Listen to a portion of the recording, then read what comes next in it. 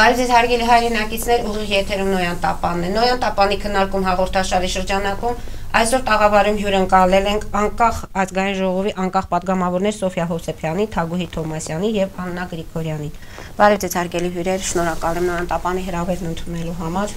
Շնորհակալություն բարեկալություն հրավերի համար։ Ուզում եմ հարցադրումը սկսել հետևյալից։ Օրեր առաջ Թագուհի Թոմասյանը եւ Սոֆիա Հովսեփյանը վերադարձան Արցախից եւ ազգային ժողովի ամբիոնից Աննա Գրիգորյանն էլ ձեզ հետ միասին ազգային ժողովի ամբիոնից դուք հայտարարեցիք, որ ստեղծում եք նոր նախաձեռնություն Արցախ նախաձեռնություն։ Այսինքն ինչի մասին է խոսքը։ Մի քանի նախաբանով դուք ներկայացրեք, ամբիոնից լսել ենք որոշակի բաներ, բայց այսօր կփորձենք մանրամասնել, թե ինչու հենց այս աղջիկները, երեք աղջիկները փորձեցին այս նախաձեռնությունը ստեղծել։ Շնորհակալություն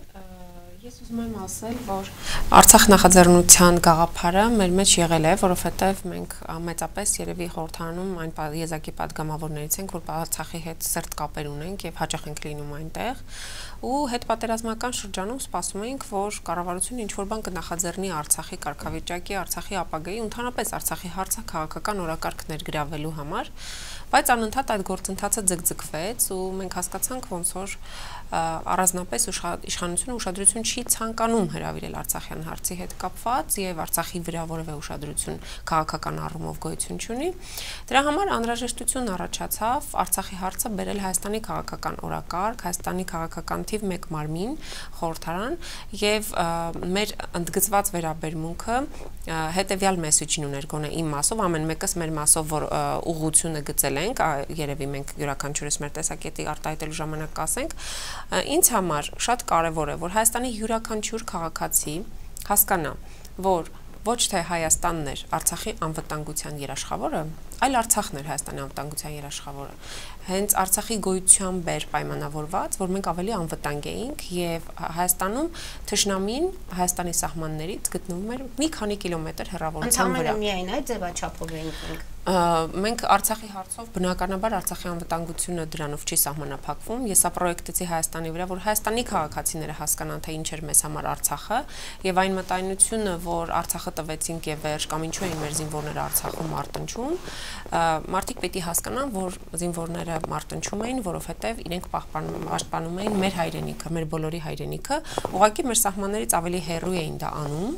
որ ավելի մեծ հնարավորություններ տալիս ավելի պաշտպանված զգալու եւ հիմա ովքեր որ նման պնդում են անում թե Արցախը տվեցինք լավ է արդեն ավելի հանգստանում ենք ես իրենց մասով շատ կոշտ բնորոշում ունեմ իրենք ուղակի հայ չեն եւ մենք պատրաստվում ենք առաջիկայում Արցախի մասով շատ նախաձեռնություններ իրականացնել առաջիկայում դուք կլսեք դրանց մասին երևի թե իրադարձությունից առաջ պետք չեն գնալ Շարունակելով գործընկերոջս միտքը, տարիներ շարունակ այնպիսի մտայնություններ ստեղծված մեր հասարակությունում, որ կարծես Արցախը մի մեծ բեռ է մեր ուսերից եւ նոյեմբերի 9-ից հետո այդ բեռը թոթափեցինք դա իրականությանը չի համապատասխանում ավելին Արցախը մեր ինքնության մի մասն է եւ հայը աշխարի որ ծայրում էլ լիներ ինքը հպարտությամբ էր հիշում հայ Արցախյան հերոսամարտ Արցախյան հերոսամարտում մեր հաղթանակը հետեւաբար այդքան արագ մոռանալ պարզապես անկարելի է եւ ես կարծում եմ որ այո ոչ միայն քաղաքական օրակարգ պետք է բերել հատկապես հաշվի առնելով առաջիկա արտահերտ ընտրությունները որտեղ խիստ կարևոր քաղաքական նշանակության հարցեր պետք է դրվեն Արցախի մասով այլ նաեւ մեր ամենօրյա դիսկուրս պետք է վերադարձնել վերացնել Արցախի թեման եւ արցախցիների խնդիրները։ Իրականում մենք շատ վերացարկում ենք հիմա երբեմն նույնիսկ բացասական ներფերանգներով եմ ես լսում, թե ինչպես են Հայաստանում խոսում արցախցիների մասին, նրանք ովքեր ստիպված են եղել լքել իրենց տները եւ այսօր ստիպված են կացությունը հաստատել Հայաստանի որ մասում է լինեն։ Մենք պետք է իսպար վերացնենք։ Ես գիտեմ, որ տարիներ շարունակ սա խիստ կարմիր գծով անցել է որոշ քաղաքական գործիչների օրակարգում, որ կան հայաստանցիներ եւ կան արցախցիներ, նույնիսկ արցախցի չեն ասում, Հարաբաղցի են ասում։ Սա մեկը միշտ պետք է ջնջել։ Ես լինելով Սյունիքից, այսօր մտավախություն ունեմ, որ վաղն էլ ասել են այդ նույն խնդիրը եւ այդ նույն կոնոտացիան, որ դրվում էր Արցախցի բարի ներքո, հիմա տալու են Սյունեցուն։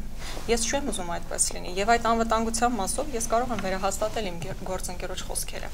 Այո, Արցախը նաեւ Սյունիքի անվտանգության երաշխավորն էր։ Եվ նոյեմբերի 9-ից հետո եւ նաեւ այն գախնի հուշագրից հետո, որ վարչապետը միանձնյակ ընկել է, այո, այդ հողերը զիջվեցին կամ նվիրվեցին ավելին թշնամուն եւ այսօր մենք տեսնում ենք թե ինչ իրավիճակ ունենք Սյունիքում, որ Սյունիքի դարպասները լրիվ բացվել են թշնամու առջև։ Սովիա դուք փաստորեն լինելու եք Արցախի ձայնը ազգային ժողովում, ինչպես դուք եք ձևակերպում, բայց որքանով նայում ենք, դիտում ենք ազգային ժողովի այդ հարցու պատասխանը, կարծես թե տեղական խնդիրների մասին խոսելու ժամանակ էլ դուք չեք կարողանում ձեր ձայնը այնպես բարձրացնել, որ ստանաք ձեր պատասխանները։ Ա գիտեք, ամբողջ հարցն ինչումն է, որ այո, մենք այսօր ունենք լուրջ խնդիր, որովհետև մեր իշխանությունները ցույց է տալիս իր ոչ պատրաստված անփորձ լինելու իրավիճակը։ Եվ դա կախված է նրանից, որ պատերազմից հետո դեռ այն խնդիրները, որոնք որ ի սկզբանե կային, այդ խնդիրների շուրջ չի նստել, չի մտածել եւ ռազմավարություն չունի։ Ինչպիսին պետք է լինի պատերազմից հետո Հայաստանը, ինչպիսին պետք է լինի պատերազմից հետո Արցախը, ինչպիսին պետք է լինի Սյունիքի խնդիրը, ինչպիսին պետք է լինի բանակի խնդիրը, գյուղատնտեսության խնդիրը եւ այլն։ Մենք չունենք ազգային ռազմավարական ծրագիր եւ սա ցցուն կերպով արդեն որերորդ անգամ կառավարությունը դա ցույց է տալիս։ Եվ ցույց է տալիս այն դեպքում, երբ որ մենք կոնկրետ հարցեր ենք ուղում եւ այն հարցերը, որոնք պետք է անմիջականորեն ազդեն ցանկացած քաղաքացու դա կլինի Արցախի քաղաքացին, դա կլինի Հայաստանի Հանրապետության ցանկացած մարզի քաղաքացին եւ փաստացի խուսափում է պատասխանելուց։ Շատ լավ գիտենալով հանդերձ, որ պատասխանը, որը մենք կստանանք գրավոր, հա, ավելի քիչ շնչեղություն կունենա, քան առաջին ամբիոնից այդ հնչեցված պատասխանները։ Եվ գուցե այդ պատասխանները որ հարցեր պետք է առաջացնեն, որոնց Իհարկե, իհարկե կառավարությունը այդ ժեստը իբր թե անում է քաղաքական պատճառներով, որ մենք խմբակցությունից դուրս եկած падգամավորներ ենք, բայց ես այլ գնահատում կտամ, ինչու, որովհետև մեր խմբակցությունից դուրս գալուց հետո մեր հարցերին պատասխանել է կառավարությունը եւ միայն վերջին երկու դեպքերն է, որ չի պատասխանում։ Հեսա ցույց է տալիս, որ իր որ իր ոչ թե վերաբերմունքն է փոխվել, այլ խուսափում է նախընտրական ժամանակահատվածում պատասխանելու եւ ցույց տալու իր թույլությունները, բայց մենք խո ի սկզբանե գիտենք Աքիլեսյան գարշապարը եւ ի սկզբանե գիտենք, որ մեր գյուղատնտեսությունը ինչպես խնդրահարույց է եղել մինչև 2018 թվականը, 2018 թվականից հետո մնացել է նույն կերպ։ Մեր բանակը ինչպիսի խնդիրներ ունեցել է այստեղից ձեր մոտ հազարավոր անգամներ բարձրաձայնել է մինչև 18 թվականը, 18 թվականից հետո նույն խնդիրների առաջ ենք բախվել, բայց մենք շարունակել ենք այն ստի նույն թելը, որը եղել է մինչ 18 թվականի եւ 18 թվականից հետո։ Եվ հիմա մենք ստիպված ենք արդեն հենց իմ գործընկերների հետ եւ շատ ուրախ եմ, որ այս նախաձեռնությունը ստեղծվեց։ Արցախ է կոչվում եւ ոչ թե Արցախի ձայն, Արցախի ձայնը մի փոքր այլ բաներ ունի, հա, ասոցիացիաներ ունի, հենց կոչվում է Արցախ եւ ինչու է սա, որ յուրաքանչյուր հայ մարդու գիտակցության մեջ Արցախը փոխենք ոչ թե այն բերեր, այ այո, ինչպես նշվեց արդեն անվտանգության երաշխիք։ Ոչ թե այն ուղակի հողակտոր էր, այն այլ մեր հայրենիքի մի մեծ մասն էր, մի կարևոր մասն էր։ Ոչ թե այն ուղակի, այսպես ասած, տարածք էր, որտեղ հայեր էին ապրում, նշվում, ինչպես բազմակի անգամ նշվում է, այլ դա եղել է հենց հայ ժողովրդի դարավոր, այսպես ասած, երբ որ չի եղել Ադրբեջան, երբ որ չի եղել Թուրքիա եւ առհասարակ միշտ եղել է Արցախում ապրողները միշտ եղել են հայ հա, հայեր եւ դա պատմությամբ է, հա, հայտնի։ Եվ այսօր մենք հասել ենք այնտեղ, որ խնդիրները մտել են արդեն այնպիսի դաշտ, որ Արցախի քաղաքացին կամ արցախցին, ինչպես ասում ենք, կարող է մեքենայից իջեցվի, որովհետև արցախցի է բարբարից ճանաչել են։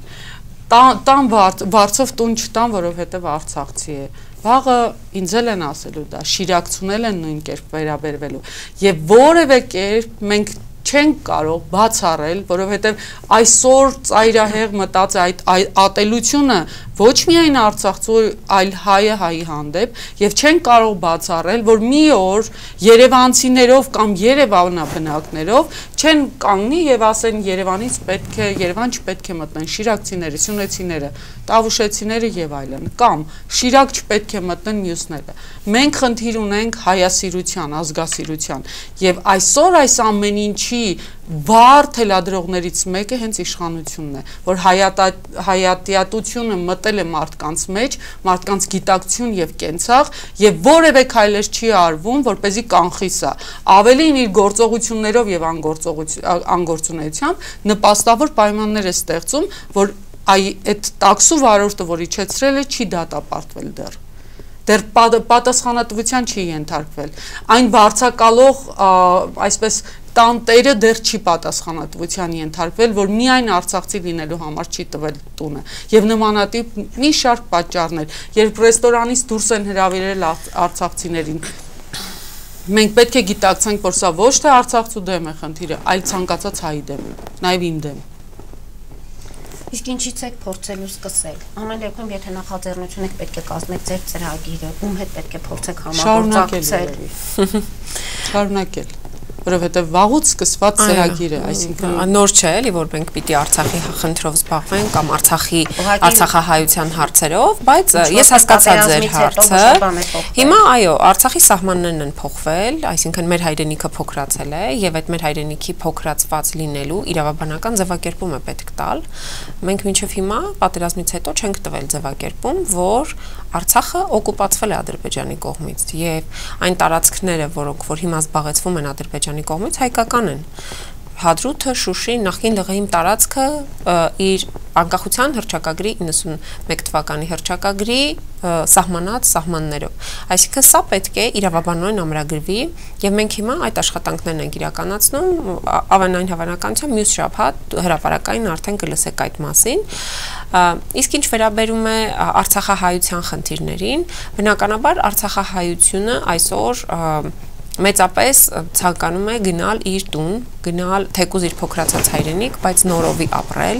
նոր շնչով ու երբ որ մենք Արցախում ենք գնացինք վերաբնակեցման, հա, այս այդ ծրագրին մեր աչքերով ծանոթանալու, որ մարդկանց տներ են տրվում, մարդկանց ապահովում են ամեն անհրաժեշտ գույքով, պարագաներով, որպիսի մարդիկ ապրեն Արցախում։ Ես ուզում եմ նկատել, որ Հայաստանում քաղաքական, նույնիսկ իմ շատ սիրելի լրատվական դաշտում խանդավառությամբ չեն ներկայացվում այդ նյութերը, այդ հրապարակումները, այդ իրողությունները։ Բնակալություն կա։ Ոչ, մենք ավելի մենք ավելի, այո, անտարբերություն ճիշտ ասեց, մենք ավելի շատ ողջավորությամբ խոսում ենք, որ այ մեր ծնողները արգելում են իրենց երեխաներին գնալ Արցախ, բայց մենք այդ նույն ողջավորությամբ չենք ասում, որ Արցախցին տուն է սարքում Արցախում եւ ապրում է հիմա։ Ստեփանակերտում շինարարություն է գնում։ Բումը ընդհանրապես Արցախում ենք Ասկերանի շրջանում էինք, Ասկերանում կոնկրետ գյուղեր էին վերածնվում, խանդված փլատակ վիճակի վերածված տները նորոգում էին ամբողջությամբ նոր բնակարաններ տալիս էին քաղաքացիներին ու այս մասով մեր բարձրաձայնումները համենայն դեպս ես փորձեցի իմ լրատվական ընկերների միջոցով լրատվական դաշտում գործունեություն ծավալող տարածել, ես հասկացա, որ այս բնույթի նյութերը հիմա չեն ողջունվում, այսինքն նույնիսկ քաղաքացիները այն արձագանքը չտվեցին, ինչ որ ես սպասում էի։ Մարդկանց հետաքրքիր չի Արցախը, մեծապես եւ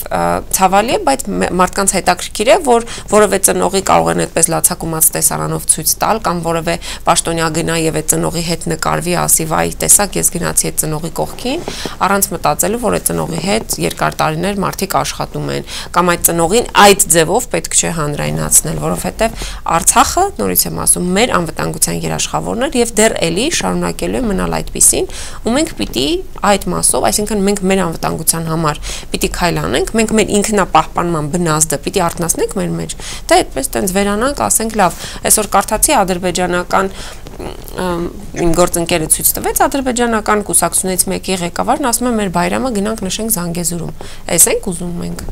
Այսինքն նշեցին Շուշիում։ Հա, դե հիմա Զանգեզուրում են ուզում եւ ցավոք սրտի նաեւ շատ բան, շատ ճակերտներ չեն բացի, բայց Նախիջևանից ոտնձգություններ են իրականացնում հայկական սահմանի նկատմամբ եւ այս մասով պետք է մենք ակտիվ զբաղվենք, բայց անընդհատ մեր մոտ թմբիր է, անընդհատ բթացնում են բոլոր հնարավոր բարձրաձայնումները, բոլոր հնարավոր անհանգստությունների արտահայտումը, դուք մի խոսացեք, ձեր հարցերին չենք պատասխանի, դուք ծախված եք, դուք նախկին եք, չի կարելի, էլի, այս այս անընդհատ չէ։ Միշտ հերքում են, ամեն ինչ հերքում են։ Շունիկի հետ կապված են շատ հերքումներ մենք։ Այ իհարկե, ես ինչև Սյունիքին անդրադառնալը մեր գործունեության մասով կասեի, որ հավանաբար 3 հիմնական շերտ կառուցնացնեի՝ բարոյա հոգեբանական, քաղաքական եւ նաեւ միջազգային հանրության հետ աշխատելու մեր ուղղվածությունը։ Տեսեք, պետք է այդ հստակ մեսիջը լինի եւ մենք փորձենք եւ ընդհանրապես քաղաքական գործիչները փորձեն հանրությանը հղել, որ Արցախը մեր հայրենիքն է ճիշտ այնպես, ինչպես Սյունիքը, ինչպես Շիրակը, Գեղարքունիքը։ Եվ առանձին տարբեր հայտարարություններ են հնչում հատկապես իշխանության ներկայացուցիչների կողմից, կապված Շուշիի հետ, երբ հարցականի տակ է դրվում Շուշիի հայկական լինելու հանգամանքը։ Ի վերջո մեր հայրենիքն է, որը վաղ թե ուշ մենք ազատագրելու ենք նորից։ Դեօկուպացիայի մասին արդեն իմ գործընկերը խոսեց եւ մենք այո այդ ուղղությամբ քայլեր ենք ձեռնարկելու։ Քաղաքական հարթության մեջ անհնար է առաջ շարժվել, մինչև դու քաղաքական գնահատականներ չես տալիս տեղի ունեցածին առանց հստակ իրողությունները գնահատելու դու չես կարող առաջ գնալ։ Եվ միջազգային հանրության հետ աշխատելու։ Այո, մենք նաև բազմաթիվ նամակներ ենք կազմում, որոնք կհղենք տարբեր միջազգային կառույցներին։ Դուք տեսնում եք, թե Ադրբեջանն այսօր ինչպես է ոչնչացնում պատմամշակութային արժեք ներկայացնող հուշարձանները տարբեր տեղերում՝ Շուշիում, Հադրութում, Նոր Հադրութում, Նոր Թաղերում եւ այլն։ Հետևաբար սրանք այն հիմնական ուղղություններն են, որոնք որոնցով մենք պետք է գնանք Սյունիքի մասով Առանցին ներկայացուցիչներ ես չեմ ուզում համատարած բոլորին ասեմ, որովհետև երբեմն ռացիոնալ միտք է հնչում առանձին ներկայացուցիչների կողմից, ովքեր հստակ դատելով տեղի ունեցածն ասում են, որ այո, Սյունիքը անվտանգ չէ։ Բայց ցավոք կան նաև այնպիսիները, ովքեր ասում են, որ ինչ է եղել Սյունիքին, որ կամ թուրք իրենից ոչինչ չի ներկայացնում, կամ ասում են դուք հասկանում եք գնահատել մեր թշնամու 21 կիլոմետր ճանապարհահատվածը Այսօր որոշ պատգամավորներ ասում են, որ դա Ադրբեջանի տարածքային ամբողջականության մաս է կազմում։ Ես չգիտեմ, այդ երբ վանից ենք մենք հրաժարվում արդեն Հայաստանի Հանրապետության տարածքային ամբողջականությունից։ Սրանք շատ վատ ու շատ վտանգավոր ձևակերպումներ են։ Ես էլ չեմ խոսում այդ ամբողջ համատեքստին զուգահեռ, երբ հնչում է Ալիևի կողմից Զանգեզուրի մասին, պատմական, հա, ադրբեջանական հողեր անվանելու արտահայտությունը։ Ես չեմ ասում նրա մասին, որ խոսվում է Զանգեզուրի կամ Մեղրիի միջան առանցքի մասին։ Սևանի մասին ինչու՞ Սևանի մասին, այո, բայց նոր գործընկերս նշեց, որ այո, մարդիկ նկարտումներ ունեն շատ ասենց թեթև վերաբերվել Ադրբեջանի Ալիևի նախագահի թե առանցին գործիչների կողմից հնչեցված արտահայտությունների պետք չէ, շատ լուրջ պետք է մոտենալ։ Ի վերջո հասկանում ենք, որ ընդամենը 4 ամիս առաջ ավարտվել է պատերազմը, բայց նրանք դեռևս բավարարված չեն արդյունքներով։ Պետք է պատրաստ լինել, պետք է սթափ լինել ամեն վարքյան ճիշտ հակակայլեր ձեռնարկել։ Եվ այստեղ կներեք մի բան հիշեցնեմ, կհիշեք մեր պաշտպանության նախարարն ասում է նոր պատերազմ, նոր տարածքներ, այսինքն այդ անլուրջ մոտեցումը հիմա էլ է շարունակվում։ Հիմա գուցե մեր պաշտպանության նախարարի եթերում չի ասում, բայց ես չգիտեմ ինչ է անում, եւ ակնհայտ մենք ունենք իրողություն, որ մեր առաջնագիծը այս պահին գտնվում է անմխիթար, տխուր վիճակում։ Եվ ամենևին ցանկալի չէ հիմա որ մենք ունենայինք այսպիսի այս մակարդակի առաջնագիծ, որովհետև մենք տեսնում ենք մեր թշնամին ինչքան է զինված, ինչ տեխնիկայով, ինչ հագեցվածությամբ է նա առաջնագիծ պահում, իսկ մենք ինչով ենք զբաղված։ Մենք ընդհանրապես զբաղված ենք սրա նրան լրացնելով։ Շտաբի պետի պաշտոնը, գլխավոր շտաբի պետի դարձրել են կիշավոտնուկ, որ 3 հոգի նստեն, արդեն մի աթոռ չի, արդեն 3 հոգի։ Մեկը իրավունքի ուժով, մեկը ուժի իրավունքով, մյուսը ժամանակավոր, մեկը մյուսի ցանկությամբ, այսինքն մենք հետևողականորեն արժեզրկում ենք մեր մեր պաշտպանության ուղված բոլոր հնարավոր միջոցները։ Նույնիսկ բանակ առհասարակ հարցականի տակ է մենք բանակ նույն ձևով ենք ունենալու, թե խոսք է գնում նաև կրճատման մասին, բյուջեի կրճատման եւ այլն, այսինքն բանակի հարցը դեռևս վերջնական լուծված չէ։ Սոֆիա ինչ կապ Անկեղծ ասած մտահոգություններս չափազանց շատ են, անլուրջ վերաբերմունքը օրեցօր եւ տեսանելի։ Գիտեք ամբողջ խնդիրը ինչումն է կանում, որ շատ դեպքերում նախարարությունը կամ առհասարակ մենք որպես ձևավորված իշխանություն, հա, միշտ հետո քայլ են կանում, միշտ ուշացած քայլ են կանում։ Աշխարհում բոլոր հարթակներում, որտեղ հնարավոր էր դիմել, մենք ուշացանք, Ադրբեջանը մեզանից առաջ դիմեց մեզ դատի տվեց, փոխանակ մենք իր վայրագությունների համար դատի տայինք։ Գերիների հարցով մենք այնքան ուշացրեցինք, որ Ադրբեջանը այսօր ահաբեկիչներ է աշխարհին ներկայացնում ու մենք արդեն ստիպված ենք աշխարհին ներկայացնել, որ խաղաղ պայմաններում աշխարհին ներկայացնել ոչ թե համոզել, այլ տեղեկացնել նաև, որ պետք է տեր կանգնեք այդ մարդու իրավունքներ ասված երևույթին, որը ինչու՞ չէ աշխարհով տարածել եք եւ թելադրել եք։ Ինչու պետք է մենք ուշացած սա անենք։ Արցախի հարցերին վերաբերող ցանկացած հարց, սահմանագծումից մինչև սոցիալական հարցեր, միշտ ուշացած։ Առաջնագծին վերաբերող բոլոր խնդիրները Պաշտպանության նախարարությունը այսօր չի գնում, որպեսզի ուսումնասիրի, թե իր հենակետերն ինչպիսի վիճակում են։ Հենց մի հատ համացանցում տարածվում է մի իրավիճակ, իրենցից շուտ թերևս մենք ենք հասնում, բայց հերկումը շատ արագ գալիս է, որ դա այդպես չի եղել, զինվորները իրականում այլ տեղից էին նկարները վերցրել եւ տարածել եւ բոլորը մեղավոր են դառնում։ Այսինքն սա գալիս է նրանից, որ երկրի խնդիրները կամ չեն տիրապետում, կամ չեն ուզում տիրապետեն, որովհետև իրենց առաջնակարգ հարցը Ադրբեջանի հետ հարևանությունը, համակեցությունը եւ առևտրային կապեր ստեղծելն է։ Մնացած հարցերը իրենց հետաքրքիր չի։ Եղբայր միգուցե դու ուզում ես Ադրբեջանի հետ կամ Թուրքիայի հետ առևտրային կապ ստեղծեց, բայց մի հատ ամրացրու քո երկիրը, քո պետությունը, ձևավորի անվտանգ միջավայր, նոր հետո, երբ որ քո պետությունն ու ազգը պատրաստ եղավ այդ հարաբերություններին, նոր գնա դրան։ Իսկ հիմա կարծես ամեն մեկը մի հատ են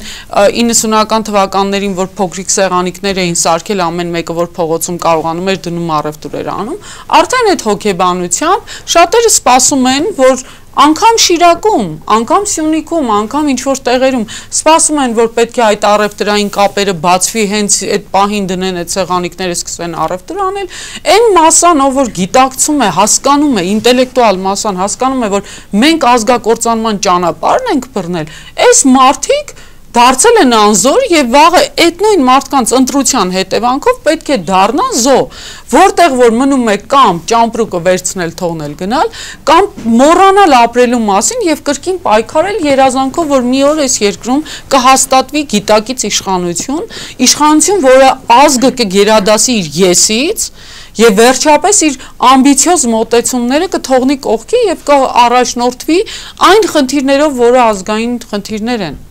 փաստացի մենք չունենք այդ իշխանությունը եւ ցավոք վերջին 30 տարիներին մեր պատիժն է մեր իշխանությունները ցավալի է բայց փաստ Ես հիմա խոսում եմ միգուցե հարց առաջանա, իսկ չէ որ ես էլ եմ այդ իշխանության մի մասը եղել, այո, բացի այն որ մասն եմ եղել, այլ նաև խապված լինելով հանցակից եմ եղել, որը ես ընդունում եմ։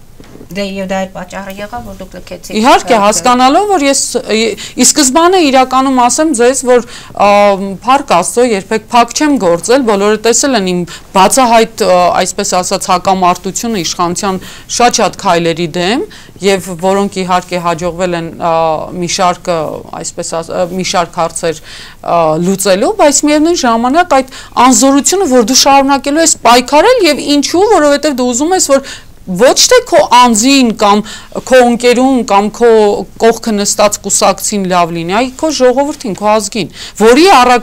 առաքելությունը, որը սահմանել ես եւ եկել ես դրա համար, բայց դու մոռացել ես ինչի համար ես եկել ու այսօր օրակարգային համար մեկ հարցը իշխանության եւ ընդդիմության համար արտախորհրդարանական եւ խորհրդարանական, ինչպես նախկինում Սերժ Սարգսյանն էր եւ ընտրությունները, այսօր Նիկոլ Փաշինյանը եւ ընտրությունները։ Ուրիշ օրակարգային հարց չկա։ Մոռացել ենք Արցախ, մոռացել ենք, որ հերթափոխի սպասող երեխեք կան առաջնագծում։ Երեխեք, ովքեր 44 օր ծանր պատերազմ են անցել եւ սպասում են, թե երբ պետք է ժամկետայինները վերադառնան, որ իրենք կան իրենց ընտանիքներին, մի մեկ շաբաթով տեսնելու երազանք է դարձել սա։ Որևէ մեկը հարց չի լուծում։ Ինչի պիտի այս զինվորի ծնողը դուրս գա փողոց կառավարությունում պահանջի, որ իր երեխային բժշկական ստուգումներ անցկացնեն, բերեն մայրական խնամքի կամ ինչ որ բան անեն կամ հերթափող գրագետ հերթափող կազմակերպեն։ Ինչու պիտի խոսվի այսօր սահմանում վրաններ չլինելու, կեցավայր չլինելու մասին։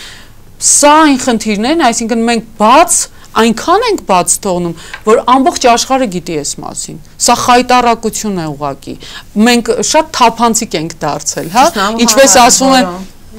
Մենք եկել ենք թափանցիկ, բոլորի համար տեսանելի, այո, տեսանելի ենք դարձել մեր երկրի ողջ անվտանգությունը, ներքին խոհանոցը եւ ինչու ենք մենք զարմանում, որ առաջին օրերից հոբ համակարգը խոցվեց։ Է բա բերե դրել եք, ասել եք մենք քանի որ շատ թափանցիկ եւ բաց իշխանություն ենք, տեսեք որտեղ ենք դրա, սա է ամբողջ խնդիրը։ Ինչպես այսօր արվում է, որ բոլորին ցույց են տալիս, թե ինչպիսի սահմաններ մենք ունենք։ Տեր չեն կանգնում, որևէ կերպ նախարարը տեղյակ չի, թե ինչ է կատարվում Սյունիքի սահմաններին։ Տեղյակ չի, թե արդյոք այդ սահմանապահը մինչև գոնե գոտկատեղը ունի խրամատներ փորված թե ոչ։ Դա սարսափելի է, երբ ես դա գիտեմ, որովհետև ես այցելում եմ եւ ինքը տեղյակ չի։ Այն դեպքում, երբ որ ընդամենը 500 մետր հեռա, Տավուշից ավելի վտանգավոր սահմաններ ունենք Սյունիքում։ 100-150 մետրի։ 100 մետր, 150 մետր ընդ որում իրենք բարձադիր գոտում մենք ավելի ցածր ներքևում։ Եվ այս մասին մոռանալ եւ չգիտակցել սրա լրջությունը, չհասկանալ, որ երբ որ Ալիևը հոխորտում է Զանգեզուրի մասին, այդ Զանգեզուրը դարձրել ենք իր ափի մեջ տարածք եւ փոխանակ մենք հասկանանք ու պատրաստվենք ամբողջությամբ, մենք ընկել ենք ընտրություններ եւ ահա անկախ падգամավորներեն պարենային անվտանգության հարց է տալիս չպատասխանենք։ Քաղաքական միակ բանը, որ ստացվեց այս իշխանության դեմ, որը այն իշխանության ժամանակ չեր է ստացվում տղապիկարային։ Միակ բանը, որ իրանց մոտ փայլուն ստացվեց, սեփական ազգի դեմ պայքարելն էր։ Ուրիշ ոչ մի բան։ Սեփական ազգին թշնամի հանելն էր։ Սեփական, այսպես ասած, այն ազգությունը, որը կրում է, այ այդտեղից ինչ որ մեկը մի հատ թարս իրան ոչ այսպես ասած ականջին հաճելի բան ասի, որը իր օրակարգում չկա, դրան մի անգամից ոչնչացնեն վերջ, բայց այդ որ ասես կարող է այդ ամբողջ ուժը կենտրոնացնես մի հատ Ադրբեջանի կողմը, այ այդտեղ իրանք դե բարեկամ են, դե հարևան են, դե իրանք գնում են առևտրային կապերի։ Սա է արժե համակարգային իրավիճակը, որ ամբողջությամբ լցվում է հասարակության մեջ։ Արցախի խնդիրները, փաստորեն Արցախի կարգավիճակն է, մեզ համար խնդիր, Արցախում իրականացվող բոլոր աշխատանքներն են մեզ համար խնդիր, անվտանգությունը, սոցիալական ինչ խնդիրներ եք այնտեղ առանձնացրել, որը պետք է այստեղ բարձրաձայնվի։ Առողջապահական, սոցիալական, վիրավորների, զոհվածների ընտանիքների հետ կապված Արցախցիների այսօր ովքեր որ ապրում են, դեռ ողջերի մասին ասեմ, իրենց զբաղվածության խնդիրն է այսօր հրամայական ինչով են զբաղվելու, որովհետև հասկանալի է, որ գյուղատնտեսությունը որոշակի ժամանակահատված է պահանջում, ինչև արդյունք ունենանք, հետևաբար այդ ընթացքում մարդիկ պետք է ապրեն։ Առաջնային խնդիրը սա է, որ զբաղվածությունը պետք է որևէ կերպ այդ հարցը հրատապ կարգավորվի, թեպետ սոցիալնախարարը պաշտոնապես ազգային ժողովի ամբիոնից հայտարարեց, որ Արցախում չկա սոցիալական խնդիր, որ լուծված չլինի, բայց ես ամենևին այդպիսի տպավորություն չունեմ։ Արցախ հայ հայեր կան, որոնք չեն կարողանում վերադառնալ, որտեղ տուն չունեն, աշխատանք չունեն, գումար չունեն։ Հա, մարդիկ կան այնտեղ ասում են, լավ, մենք եկել ենք, այո, այստեղ ապրում ենք, շատ լավ է, մեզ տվել են հերոստացույց, սառնարան, լվացքի մեքենա, չգիտեմ, կահույք, որպեսի մենք քնենք, նստենք եւ այլն, բայց ինչով զբաղվենք։ Ու այս հարցի պատասխանը իսկապես հիմա չկա։ Մենք այս հարցի պատասխանի ուղղությամբ ոչինչ չենք էլ անում, որ լինի։ Առաջնահերթ սա կառանձնացնեի Երկրորդը, որ ես շատ կուզենայի, մենք իսկապես Արցախ-Հայաստան բարեկամություն ունենք։ Մենք որ գնացել էինք Արցախ, այնտեղ ազգային ժողովի փոխնախագահը նույնիսկ հումորով ասաց, մենակ աղջիկներն են մեզ հյուր գալի 4 պատգամավոր ընդամենը, որ գնում գալիս է Արցախ մնացած ոչ ոք չի գնում եւ ասաց խնդրում եմ ձեր տղամարդկանց ասեք թող գան Արցախ վախենալու չի սա զավեշ տալի է ուղակի եւ ես ուզում եմ որ շատ այցելություններ լինեն նախ ընդհանրապես ինչու վարչապետը չի գնում Արցախ վախեցել է Ալիևից ինչու այդ ագրեսիվ վերաբերմունքը երբ որ նա այդպես ագրեսիայով խոսում է իր քաղաքական ընդդիմախոսների մասին ինչու այդ ագրեսիան մենք չենք տեսնում մեր թշնամական երկրի ղեկավարի հասցեին Երբ որ ինչ որ հարցեր կան, որոնց հետ կապված նա չի փոխում, բայց ինձ մոտ ողջամիտ հարցեր են առաջանում, որ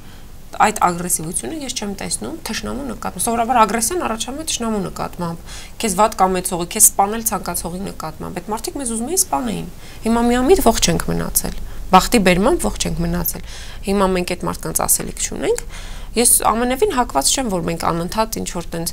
արկածախնդրություն փնտրենք ու արկածներով գնանք առաջ, փորձենք նոր պատերազմ հրահարել, ինչի մեջ փորձում են իրենք մեղադրել ցանկացած մեկին, ով ասում է, որ մենք տարածքային ամբողջականության վերականգնման խնդիր ունենք։ Ոչ, մենք պետք է ուղեղով աշխատենք, մենք պետք է հզորանանք առաջի հերթին եւ այդ հզորանալու համար մենք պիտի հիմիկվանից քայլեր իրականացնենք։ Նայեք, պատերազմից անցել է 4 ամիս որևէ դրամի ներդրում Հայաստան չի իրականացվել։ Էլ չասեմ վերջին երկու տարում ընդհանրապես որևէ մեկը մեր երկրի հետ բոլորը իրենց հաշիվները մաքրել են, որովհետև քաղաքական առումով իրենք անհուսալի գործընկեր են։ Մեծապես մեր իշխանության հետ չեն համագործակցում, որովհետև գործընկերային հարաբերություններ պահպանելու եւ ստեղծելու մարդկային հատկանիշների պակաս կա ու դա արձանագրվել է ոչ միայն իմ կողմից բազմաթիվ դրվագներով ու հիմա մենք խնդիր ունենք առաջի հերթին տնտեսական մենք դրել բյուջե ենք կրճատում դրել ենք մարդու իրավունքների պաշտպանի գրասենյակի ֆինանսներն ենք արդեն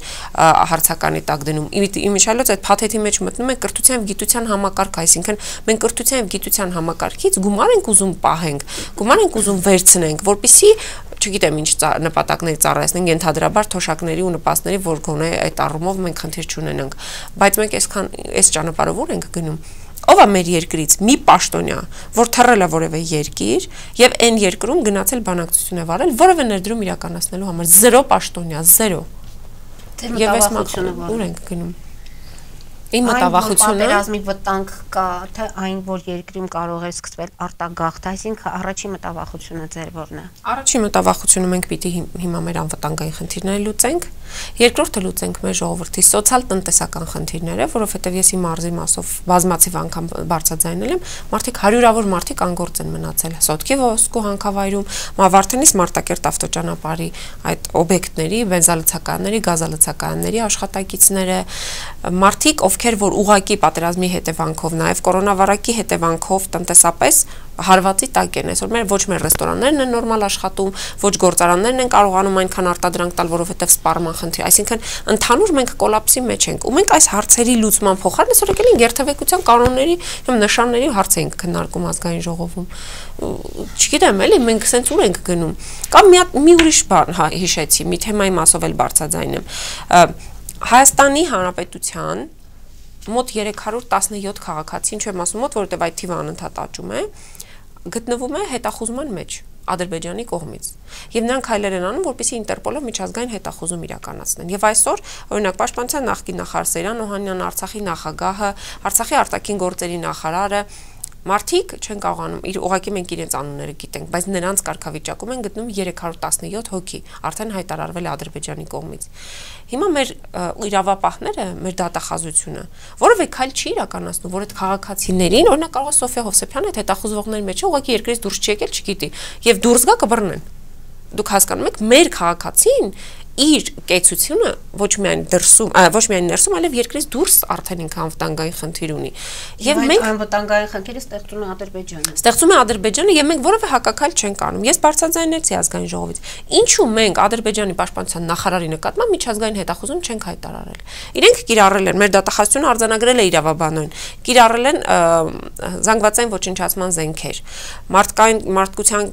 ոչնչացման կյանքի իրավունքի խախտման զենքեր, արգելված զինատես տեսակներ, չգիտեմ, այնտեղ ձևակերպումները մարդ մարդու հիմնարար իրավունքները խոչընդոտող մի խոսքով իրավական տերմինների մեջ չմտնեմ իրավական, այդ գործողությունները իրականացրել է Ադրբեջանը ու գլխավոր դատախազը այդ խորհրդակցությունից մեկի ժամանակ խրոխտ հայտարարեց, որ պետք է Ադրբեջանի ռազմաքաղաքական ղեկավարությունը պատասխանատվության ենթարկվի։ Ուր է բա ձեր պատասխանատվությունը։ Փոխարեն ինչ է կար։ Ֆուտբոլային մի մեկնաբանի նկատմամբ հետախուզում է հայտարվել եւ վերջ նայում եմ դատախազության կայք ապօրինի ծառայատումների դեմ պայքար, չգիտեմ, այնտեղ Տավուշի անտառների մասով, Լոռու անտառների մասով եւ ձկնաբուծարանների մասով խախտումներ է հայտնաբերել։ Բա մեր 317 քաղաքացիների իրավունքներով պիտի պաշտպանի։ Հիմա փաստորեն ձեր այդ հայտարարությունը, որ Արցախն է Հայաստանի անկախության երաշխավորը, կարծես թե դա ինչ որտեղ քննադատությունների, ինչ որ մտահոգությունների առիթ է տվել։ Մենք բազմիցս հարց ենք ուղղել հենց կառավարությանը, նորից փորձելով նրանց մտածումները հասկանալ, արդյոք Հայաստանը շարունակում է լինել Արցախի անվտանգության երաշխավորը եւ Բայց այս պատերազմը ցույց տվեց, որ մենք ենք իրենց Ավելի լավ չէ չերաշխավորենք։ Չէ, պատերազմը ցույց տվեց, որ մենք բոլորին խափել ենք, որ մենք երաշխավորն ենք, բայց մենք ոչինչ չենք կարել երաշխավորելու համար։ Նույնիսկ մեր երաշխավորությունը։ Այս պահին Հայաստանի Հանրապետությունը սեփական տարածքային ամբողջականության երաշխավորը չի, ել որ մնաց Արցախի Հանրապետության երաշխավորը լիներ։ Եթե կարճ ռեպլիկով Սոֆյան խոսեց, որ շատ թափանցիկ ենք, այնքան թափանցիկ, որ միջազգային հանրության կամ հակառակորդի համար թափանցիկ ենք եղել, բայց միևնույն ժամանակ սեփական ժողովրդի նկատմամբ բավականին փակ։ Մինչև այսօր մենք չգիտենք, թե մենք որքան զոհված զինծառայողներ ունենք, որքան գերիներ ունենք, անհետ կորածներ ունենք։ Իսկ Սյունիքի մասով էլ դուք գիտեք, որ դեկտեմբերի 18-ին առանցին հուշագիր կա, որով Սյունիքի անվտանգության գոտին զիջվել է թշնամուն եւ այնտեղ վերջին կետում էլ գրված է, որ կոնկրետ Գորիս Դավիթ Բեկ եւ Կապան ճակատեն ճանապարհների վերահսկողությունը երակողմ է Այսինքն մենք ճանապարհների մի հատվածը տվել ենք Ադրբեջանին եւ Ռուսաստանը հիմա այնտեղ տեղակայված է որպես այսպես կոչված միջնորդ։ Ու սրա մասին մեզ տեղեկացված չի։ Այո, մենք սրա մասին տարբեր մարդկանց կողմից հրապարակումներ լսել ենք, բայց նման ռազմավարական նշանակության փաստաթուղթը չի բացահայտվել սեփական ժողովրդի արչև։ Եվ այս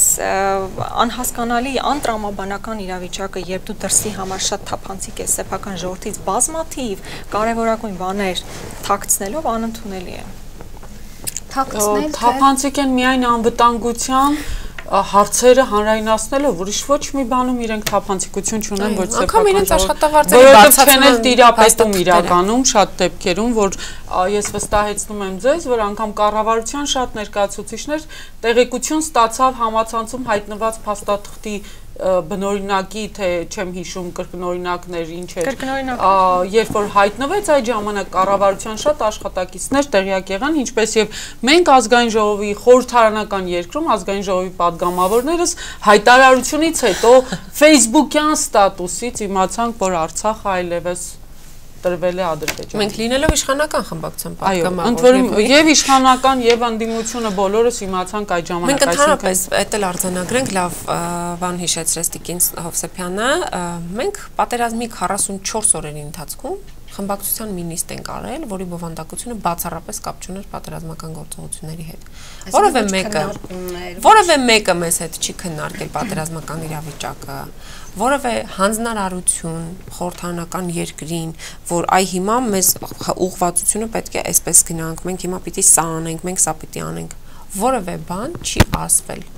հանձնարարություն բառը գուցե մի քիչ ճոխ ասեցի, որովե ուղություն չի տրվել գործադիրի կողմից, ինչով զբաղվի խորհրդանը։ Այսինքն մեծապես գտնվում ենք բարձի թողի վիճակում։ Ես գտնվում եմ իմ մարզում, Տիկին Հովսեփյանը իր, այսինքն բոլորս մեր բարեխ Արցախում չեմ հաստրել։ Արցախում ուզում եի ասել։ Այսինքն բոլորիս գործողությունները պայմանավորված են մեր բարեխղճությամբ, ընդհանրապես։ Եվ եթե մենք դիտորդ մնայինք, մենք կարող ենք այդպես դիտորդել մնալ ամբողջ օրը միացնել հերոստացույցը, տեսնենք ինչ կա, չկա։ Իսկ պատգամավորի գործը ինչպես է ձեր նկատմամբ վերաբերմունքը Աճոք այս հայտարարությունը անելուց հետո դուք ձեզ համար մեկ եւս գլխացավանք եք ավելացրել։ Գիտեք ամբողջ հարցը ինչպիսին է, այն նույն վերաբերմունքն է, որը որ այսպես որևէ տեղ այն նույն մարդիկ են գրում, ովքեր որ որևէ տեղ Արցախ բառը տեսնում են եւ հա, հակազդում են։ Այսինքն այն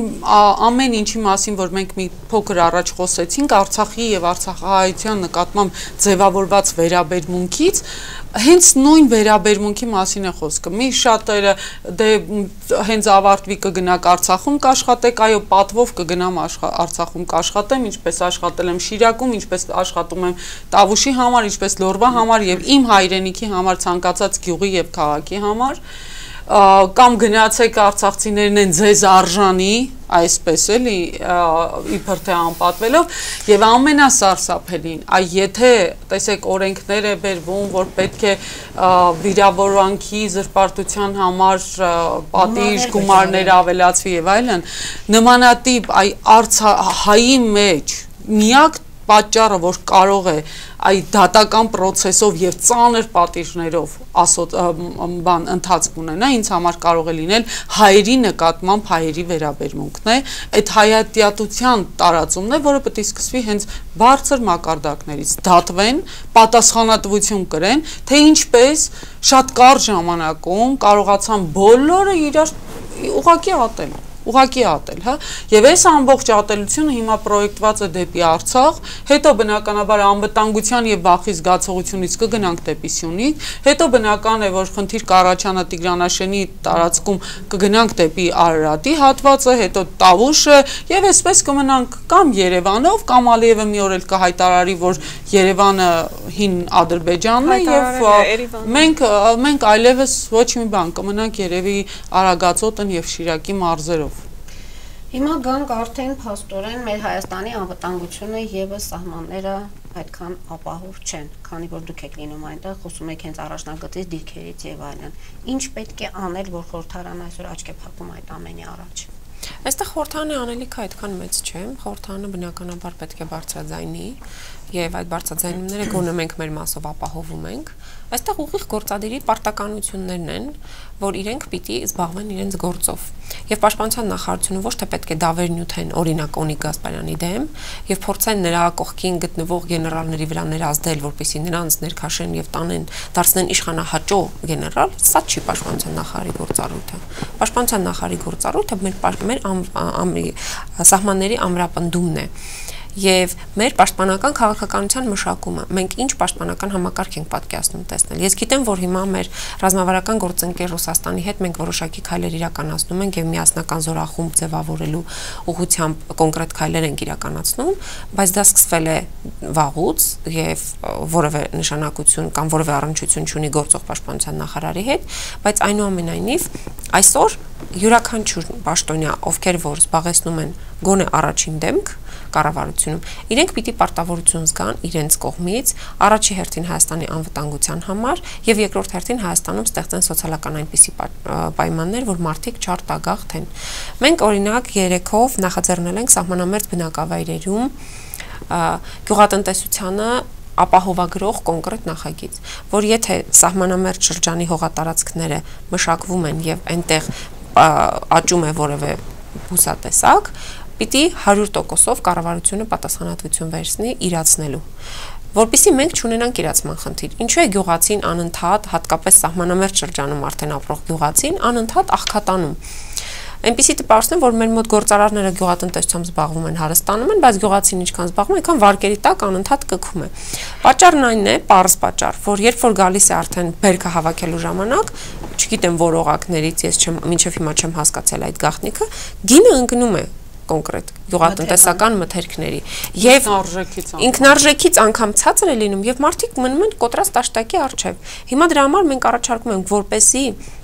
գյուղացին կարողանա եւ գյուղացին ուզենա այդ հենց առաջնագծում գտնվող առաջնագծին մոտ գտնվող հողատարածքները մշակել, պիտի 100%-անոց իրացման խնդիրը մենք նրա վրայից վերցնենք, լուծած լինենք։ Եվ այստեղ որ ասում են, որ սա մրցակցային խնդիր կարող է առաջացնել, կարող են ինչ-որ մարդի գալ այդտեղ հողերում մշակել, բայց այնքան հա դա հեշտ է վերահսկել։ Երբ որ մենք այնտեղ ամրագրել ենք, որ գյուղացու հետ պայմանագիր կապեք։ Եթե մենք տեսնում ենք, որ նա այդ գյուղի բնակիչ է, եւ այդ գյուղի բնակիչը մշակել է հողը, հիմա ինձ չի հետաքրքրում նա ում հետ բիզնես մեզ կդնի ինչ կան։ Ինձ շատ մեծապես հետաքրքրում է, որ գյուղացին այդ հողը մշակի։ Վերջ, իմ պարտականությունը ես որպես падգամավորի համարում եմ դա։ Ու մեր նախաձեռնությունը արդեն շրջանառության մեջ է։ Ու հիմա որ ասում են, այ այդպես ստացվում է, որ մենք մրցակցությունից դուրս ենք թողում օրինակ Շիրակի մարզի, չգիտեմ, գյուղատնտեսական ապարագաները։ Ամենավին այդպես չէ։ Ի վերջո, որևէ մարզի բնակիչ կամ որևէ քաղաքի բնակիչ, թեկուզ հենց մեր մարզում, օրինակ Սևանի բնակիչը բնականաբար չի կարող գալ համեմատվել Գեղամասարի շատ ջրեքի բնակավայրերում բնակվողների հետ,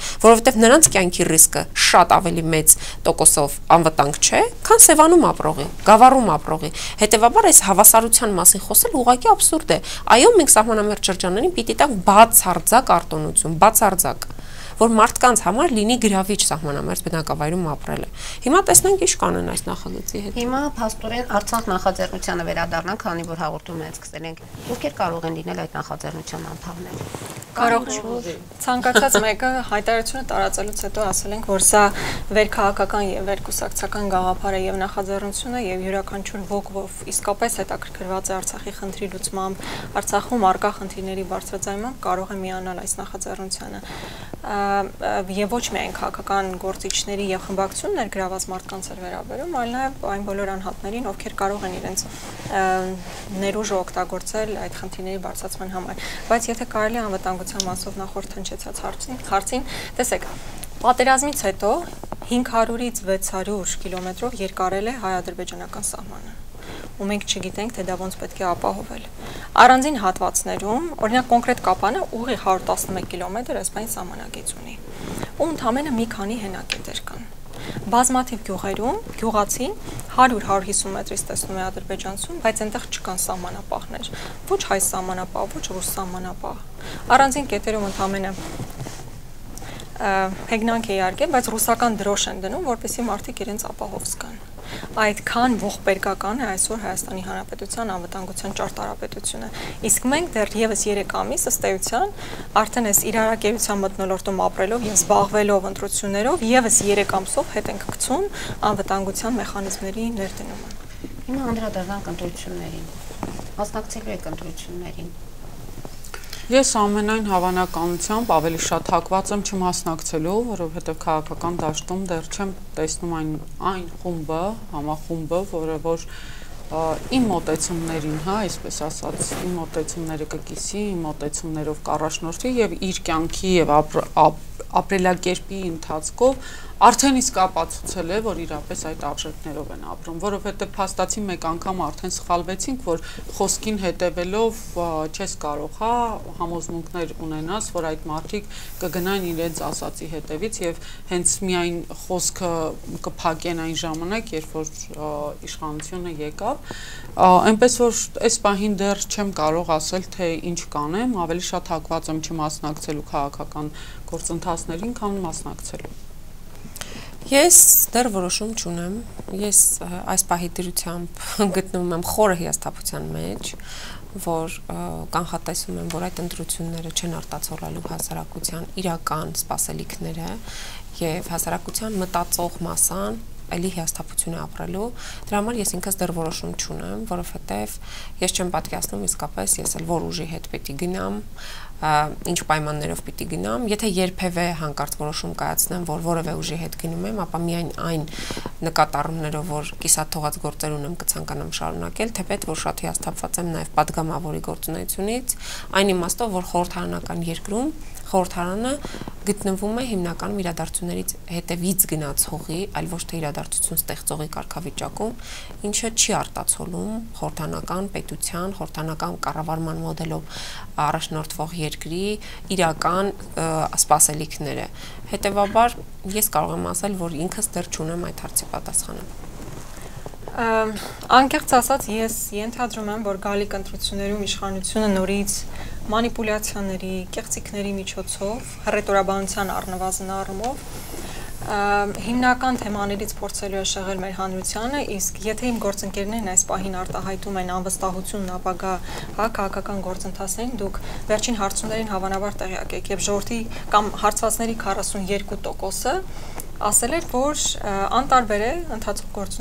գործընթացների վերաբերյալ։ Ես կարծում եմ ամեն դեպքում ես հակվածություն ունեմ մասնակցելու։ Ես կարծում եմ, որ իշխանությունը չպետք է թողնել մենակ այդ կեղծիքի եւ տարբեր մանիպուլյացիաներ սպրելու մեջ եւ ընդդիմությունը պետք է բավականին ուժեղ լինի, խոսի քաղաքացու հետ, բացատրի իրողությունները, ինչ է կատարվել երկրում եւ կոնկրետ ծրագրեր նախանշի, ոչ թե դավաճան եւ այլն գոռալով, այլ հստակ խոսի ապագայի մասին եւ թե ուր են գնում, ուր են գնում մենք ընդհանրապես։ Նախորդ իշխանությունները, իշխանությունները փաստորեն եկան իշխանության, այսպես ասեմ, ներկաները, անցյալները, հները, նորերը, այդ տրամաբանությամբ հիմա ինչ տրամաբանությամբ պետք է լինի այս ամենը։ Նույն տրամաբանությամբ Երկուս ու կես տարի։ Եվ ինչ պետք է գտնեն, որ կարողանան ժողովրդին կարծես թե գրավեն, սիրտը շահեն, այսինքն Տեսեք, այսօրվա իշխանությունը օրեր առաջ Արագածոտնի մարզում Քարոզարշավի մեկնարկ էր արել, թերևս իրենք անվանեցին դա վարչապետի հերթական այցմարզ էր, բայց դա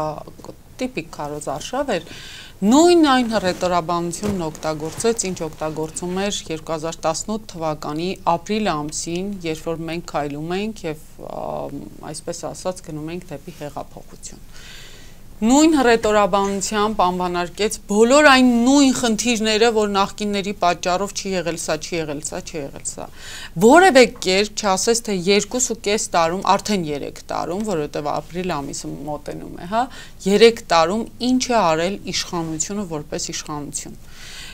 Առհասարակ չխոսեց, թե ինչպիսի բացեր ունենք մենք սկսած մոբիլիզացիոնող ուժերի ձևավորումից, կազմակերպումից եւ այլն, ամեն ինչ առում, ինչ առումով, ինչպիսի բացեր ուներ կառավարությունը պատերազմի ժամանակ։ Չխոսեց ընդհանրապես ինչպիսի բացեր ուներ հետ պատերազմի ժամանակ։ Այնքան խոսեց նախկինների վատը լինելու մասին, որ բունտեր անելու մասին։ Այո, որ ժողովուրդը այսօր երբ որ մոտենում ես հետները խոսելու, ինչի մասին հենց հիմա այս պահին, այս պահին նախարարը սխալն անում է, ասում են նախկիններն են մեղավոր։ Ինչու, որովհետև Նիկոլը այդպես է հայտարարել։ Հիմա մենք մենք լուրջ խնդրի առաջ ենք կանգնած։ Ես անկեղծ ասած իմ այս ժամանակների ամենօրյա եւ ծանրաբեռնված աշխատանքի արդյունքում հասկացել եմ մի բան, որ հավանաբար պետք է դաշտ ազատ թողնես, այն բոլոր գործողությունները որոշակի ժամանակ բաց թողնես, որպեսի հանրությունը հասկանա, թե դու ինչ մեծ ծավալ է իր վերցրեք հո ուսերի վրա։ Եվ որպեսի հանրությունը հասկանա, թե ինչպիսի падգամավոր կար ազգային ժողովում եւ ինչպիսի падգամավոր այլևս չկա։ Երբ որ առավոտյան ժամը 6-ին իրենց ամենածանր հարցերի շուրջ վերցնում եւ զանգում էին падգամավորին եւ խնդրում էին այդ հարցին հնարավոր լուծումներ տա եւ այդ հարցերը հաստատ լուծվում էր։ Երբ գիշերը ժամը 2-ին լուծում էր, երբ օրվա 24 ժամը 24 դրոպ 7-ով հանրապետության բոլոր մարզերով գործել եմ։ Արդյոք ես պետք է այսօր մի հատ էլ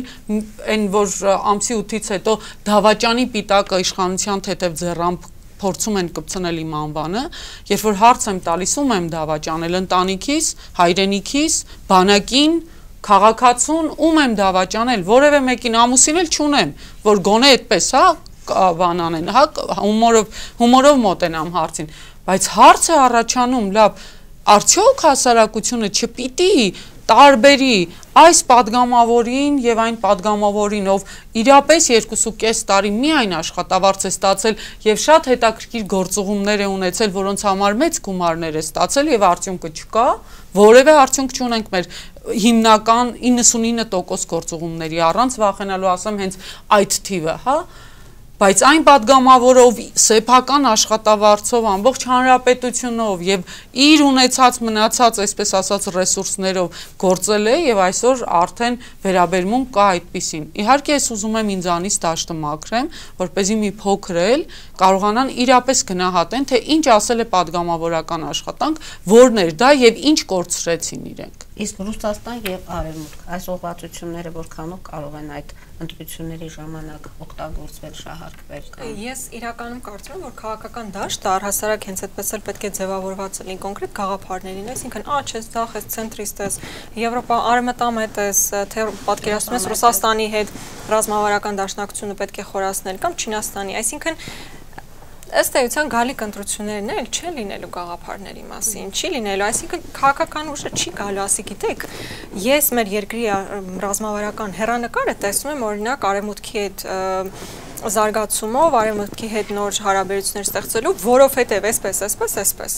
Կամ չի մեկը չի գալու, ասի գիտեք, Ռուսաստանի հետ պետք է խորացնել, որովհետև այսպես, այսպես, այսպես։ Այսինքն մարդիկ չեն գալիս գաղափարի շուրջ խոսելու։ Եւ այսօր էլ եթե դուք նկատեք, որևէ քաղաքական ուժի դու չես կարող ասել հստակ ինքը ինչ ուղղվածություն ունի, քաղաքական ինչ գաղափար է գրում, աշխարհակաղակական որ վեկտորն է ընտրում։ Հա, իհարկե այսօր հասկանալի է, որ Ռուսաստանի դերն ու նշանակությունը հատկապես պատերազմից հետո էականորեն աճել է։ Ես նախկին նախորդ խոսքումս ասացի, որ անվտանգության հիմնական երաշխավորը այսօր Ռուսաստանն է դարձել Հայաստանի տարածքային ամբողջականության նաև, բայց պետք է առողջ հարաբերությունների մասին խոսել, ոչ թե այնպիսի խորը ինտեգրացիայի, որը նաև քո սուվերենությունը բացարձակ կերպով կիչեցնի, այլ առողջ ռազմավարական նշանակության հարաբերություններ ստեղծելու մասին պետք է խոսել։ Եվ ձեր հարցը այնպեսին էր, որ կարծես թե մեր քաղաքական ուժերը այդ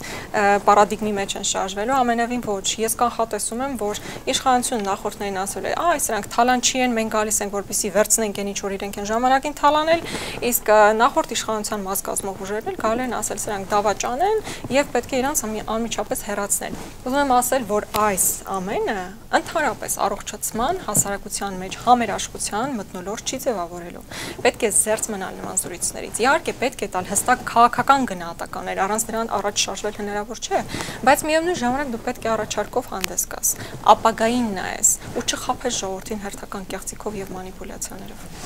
Շնորհակալություն եմ հայտնում եմ եթերաժամանակը մոտեցավ ավարտին։ Հետևենք զարգացումներին։ Կարծում եմ հաջորդ հանդիպման ժամանակ մենք կարողանանք նաև քննարկել ընդհանրապես ընտրական օրենսգրքի հետ կապված խնդիրները եւ այն խնդիրները, որոնք առաջանան այս օրերի ընթացքում, այնպես որ եւ թե անվտանգության եւ թե Արցախի